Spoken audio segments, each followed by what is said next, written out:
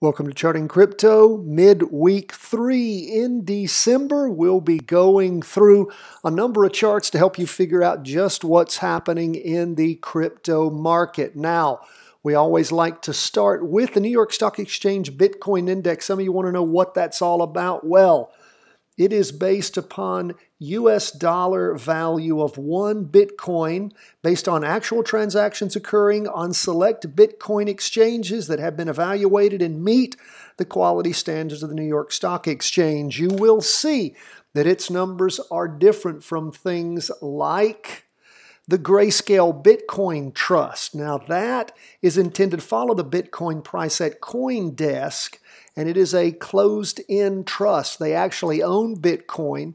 It trades at different premiums, and also it's not the same. In fact, here's what's weird, guys GBTC, that is the Grayscale Bitcoin Trust, was up 2.62% when the New York Stock Exchange Bitcoin Index was down 0.11%. Now, this is what I want you to really understand and pay attention to. What really matters is what's actually going on in the marketplace. Yes, of course, the percentage changes matter a lot, particularly if it's down 0.11% for one thing and up uh, 2.62% for another. But we've remember all of this stuff is still in flux. You've got multiple different Bitcoin exchanges and crypto exchanges. You've got Coinbase, Kraken, Binance, Crypto.com, all sorts of others. And they're all competing across the board. They're registering at different times, they have different numbers. I'm not saying anybody's cooking the books on some of these, but I'm telling you that when you look at these things, I, I really tend to put more emphasis on what's happening overall in Bitcoin when you look at the New York Stock Exchange Bitcoin Index. Now, you guys can convince me of some better way to do it. I will do that. In the meantime, we're going to look at that overall. And here's what's important to note you can see four big down candles heading down on Bitcoin, all that pressure. You can see pretty much the same thing when we delve into grayscale Bitcoin. Now, those of you who are joining us uh, for the first time, and that might be people that are listening after we release this to the public. That won't happen until next Monday. But we apply all of our rules, and I'm teaching this, of course, right now and sharing it with my Patreon members. And you guys know how we chart the markets. We're looking for weekly vertical crossovers. What are they telling us? They're telling us the direction of sentiment, fear when things are driving down, like we see happening now with Bitcoin, greed when things are driving up, like we have seen in the past. Doesn't take a genius to look at our charts and see that they're pretty darn magical. They give you forewarning as to collapses, and they also get you in at the right time when Bitcoin starts to drive up. And very important for you to know that information. Why? Because why in the world would you have been buying Bitcoin at $67,000 a Bitcoin? And again, I always add this adage in your practice account because we're not a stock calling service, not a Bitcoin calling service, not a crypto calling service. We're an education firm. Want you to practice with us, learn how this works, practice, learn by doing. And why would you buy at $67,000? Let me go back to the Bitcoin index. Why would you buy at an amount like that as things are starting to die on the vine the price is collapsing down to as low as what? $36,000. Who would like to take that loss, that shot in the head? I wouldn't. But if I'm going to look for a time to buy Bitcoin, would have been a good time. I don't know. I mean, when you look back at the uh, when the week we had the weekly vertical crossover somewhere around the thirty-seven to forty thousand dollar mark, would that have been okay? And watch it drive up substantially over the coming weeks, that would have been fine with me. So that is what we are looking for. What do we see going on? We see lots of downward pressure continuing, regardless of whether you're looking at the Bitcoin index from the New York Stock Exchange or you're looking at what's going on with grayscale Bitcoin. You see lots of downward pressure. Not a time to be jumping into Bitcoin. We look at the two day, uh, we can see a slowdown in the down movement, first day of this latest two day candle. What do we see on the half day? We can see where things have bottomed and rotated over. Does that mean, oh, it's going up now from now on? No, this is our smallest chart, carries the least amount of weight, but we do pay attention to it because all changes start on the smallest chart. That little, that little stop of the forward movement and the back pedaling uh, or the acceleration of a downfall. So we'll continue to watch and see what's going on. We understand, though, that the overall mood, no matter which of these charts we look at, is definitely and decidedly down in Bitcoin. Now, what do we see going on with Ethereum? This is grayscale Ethereum. Again, very similar to Bitcoin. It's intended to follow the price of Ethereum based on Coindesk, uh, the Coindesk price index. But again, they own Ethereum. There are premiums that are involved in there. There's also a 2% management fee on these grayscale um, uh, e- well, trusts. They're not ETFs. They act like stocks and ETFs buying and selling and such, very similar, but they are closed end trusts and they do have high fees, very high fees. So again, the nice thing is you got lots of volatility here, and many folks aren't staying in all that long. They're buying, they're letting it ride up, getting out, and such. So again, you can sure practice trade this to your heart's content. Up for the day, 7.49%. But again, what's the overall mood in Ethereum? Down. Crossed over going down back on the week ending the 3rd of December. This week is a down week. Look at the two day, you can see where things are slowing down, but by no means has everything turned around. Now, check out the half day. You can see that even with the up movement for the day and the first green candle we've seen in quite a while, going all the way back to the 8th of December after this long multi day hammer down, uh, even with that pounding up on Wednesday, still wasn't enough to have a crossover going up. So just keep your eye on things. We'll watch Ethereum until we see things moving around. And again, Ethereum taking off again like it did when? Back on the week ending the 13th of August. That would have been our jumping in point to then start riding this train as it proceeded through its ups and downs all the way up to a high of what? Uh, $47.40 from somewhere around the 29 to $30 mark. So again, nice movement. Now again, this is set to track Ethereum. For those of you who are actually going to be looking at practice trading with the real coins, using one of these crypto coin exchanges, again, you can use these charts to help you track those things. So it's important for you to learn how to chart so that you can then use the information as we move along. Now, we've been talking about these three new ETFs BITO, BTF, and XBTF. These are all uh, basically Bitcoin futures ETFs, short term futures.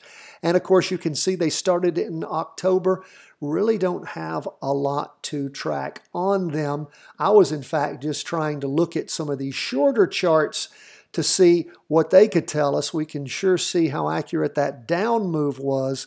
Not a lot of accuracy in this last up move when things rotated over.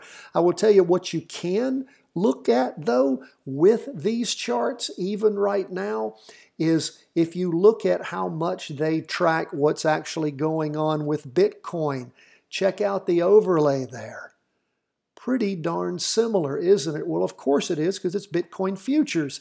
It's not going to be exactly the same, but it's going to follow what's happening to Bitcoin. So when those things turn around, give you some opportunities to perhaps jump in, practice trade one of those, jumping into an actual ETF, not what we would call a closed end trust.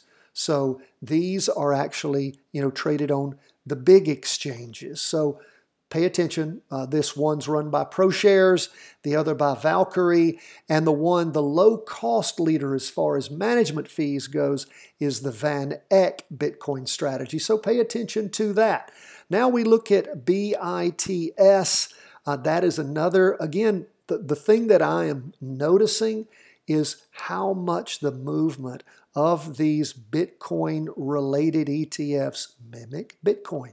So you can keep that in mind as these develop further, as we get more in the way of charts, because again, not been around very long, but watch for how you can utilize other information to help you follow and track what's going on with these. Now, this one is an interesting one. Bitwise 10 Crypto Index Fund, it tracks cryptocurrencies, the top 10 cryptocurrencies, and it's weighted so the more market, the, the, the bigger the cryptocurrencies are as far as market share, Bitcoin being the biggest, Ethereum next to that, you will see this is weighted to make up for that.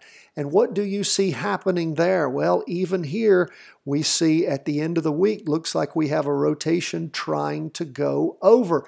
Thing that concerns me about that is I would much have preferred to see the rotation about the time that the derivative oscillator was going negative. It's been several weeks now uh, until that is happening don't like that. I like for things to work the way they're supposed to, like this last one did. When we had a weekly vertical crossover going up, and what happened?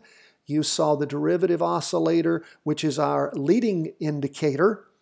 It is, uh, it is a triple smooth version of the relative strength index, and the price percent oscillator, which is a percentage version of the MACD, the moving average convergence divergence indicator, which is a lagging indicator when those cross at the same time, we typically feel better because they tend to have more staying power, more inertia, more likelihood of moving in the direction of the crossover, which is all we ask for, friends. We just want to know which way it's going.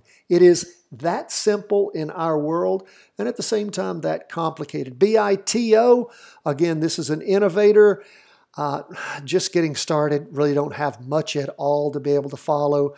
You know, you again can look back and track and see what Bitcoin is doing as compared to what this fund is doing, how closely they are mimicking and tracking things. Again, important to pay attention to. What about uh, this next fund? This is uh, in investments in blockchain technology. Again, what do you see with an overlay of what's happening with Bitcoin itself? When you see the market being driven up and down hard, and that's what we always want to have, we want to have that volatility in one direction or another. It helps you sort of see things and where they might be going. But again, all we have in these new funds are very short time periods. We need weekly vertical crossovers, and we will get them in the future as things move along and these new funds develop. So we'll be patient in the meantime as we go through these. You know, we're not going to get overhyped and over concerned about things. We're also pushing the folks at TC2000 to please help us start tracking directly, whether it's at Coindesk or somewhere else. Go ahead and get us the information loaded here on TC2000 so we can apply our charts our charts and start tracking other cryptocurrencies. But we see what's going on. Let's see, BLOK. Uh, we can see that we had a crossover. Let's see here. Yes, we had a nice crossover going down back on the week ending the 10th. Uh, and again, that is proceeding uh, that is uh, again a another ETF that's invested in transformational data sharing. A large uh, component of that is in the crypto space, in the transactional crypto space, and uh, also with the uh, next generation economy. Again, big crypto investments. Look at that nice clean crossover going down. We've seen that continue. Uh, and again, what do we see here on this last fund that we look at, the innovative transaction and processing? Again, with cryptocurrencies, we can see that that also did crossover going down again, giving us an opportunity potentially to at least know not to be in there if we're not uh, going ahead and getting into a short position. So as this market space continues to develop, we'll have a lot of fun things to look at. In the meantime, we can, to our heart's content, follow very accurately what's going on with Ethereum, what's going on with Bitcoin, and having an idea how these markets are developing and where they're going. That's where we are, folks. Right now, the crypto space still quite negative. Not recommending that any of you jump into any up trades at this point. We will just continue to see where things are going and then be ready to pounce when the pouncing's good. God bless my friends. All the best from the whole team here at chartingwealth.com. We're happy to bring you Charting Crypto.